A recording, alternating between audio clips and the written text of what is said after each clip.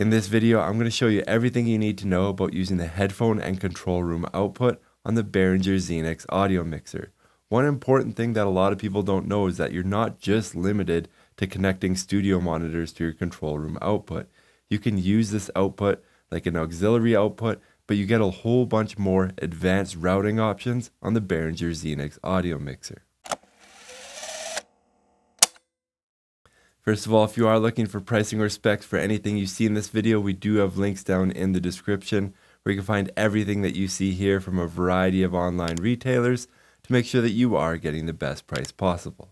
Now, just as a quick review on the Behringer Xenyx audio mixer, on the back of this audio mixer, you do have three different outputs. You have the main stereo mix, you have the Alt 3 4. The Alt 3 4 is a bus that's fed from all your muted channels. So if you mute a channel from the main mix, it will automatically go to the Alt 3 4.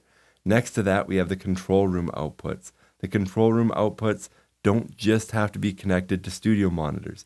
You can use this as an auxiliary output, and we're going to show you how to do all kinds of different routing options for that. Then, of course, you do have the headphone output as well. The headphone output is linked to the control room output. So the level that you set with this, right here is where you find the level knob for this. It will be linked so your headphones will turn up or down as you turn up your control room output up or down as well. Okay, so how do we control what goes to the control room output? You can do it right here. You'll find this box in the middle with an arrow to the volume knob for the control room and headphone output. And here's where you can select your three routing options. Now it's super important to note here that you're not just limited to doing one at a time you can mix and match any of these three options. So you can pull from your two track RCA inputs up at the top of the audio mixer if you want. You can turn on your Alt 3 4, so if you want to listen to all your muted channels at the same time, or if you're doing something funky with the routing of those, you can do that. And you can turn on your main mix. Now you can have all these on at the same time, so if you just want to monitor all your inputs at once, you can do that.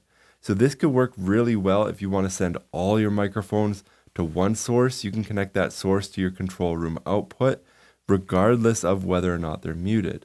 Now there is an override to this. The one override for this is if you are on this PFL, the PFL or solo button here will override whatever you have in the routing options.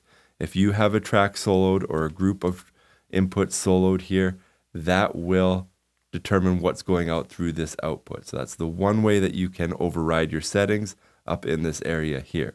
Now it is important to know that this area does override some typical settings on the audio mixer. Let me explain. So right here is our two track toggle button. What this button does is it will determine whether or not we are listening to the RCA inputs in the two track area or listening to the USB input or if we are sending audio out through the two track record and the USB record. Now, typically, you can't listen to the RCA inputs at the same time that you are outputting the RCA outputs. This toggle switch makes sure that you either do one or the other.